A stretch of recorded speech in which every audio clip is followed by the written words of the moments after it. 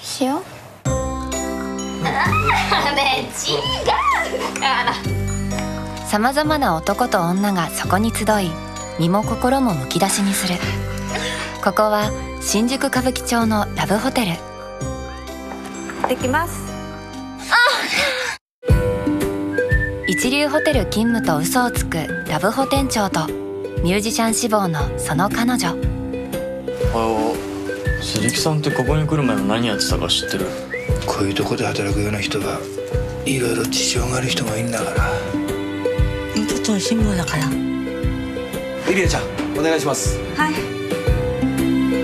ホステスなんこれ決まりのさっきのおばさんどっかで見たことある。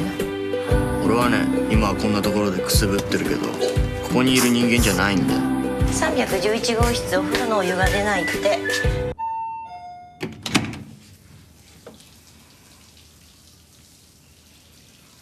お湯出るの。どうすんの？ここまで来て。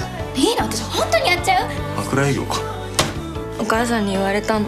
お願いだから死んでくれるって。今頃2回戦じゃない？よせ柏木由美子。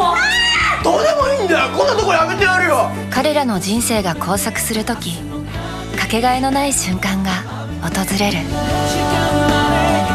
さよなら歌舞伎町スロースロークイックイッあのお客さん。急になってく本当に困るんですけど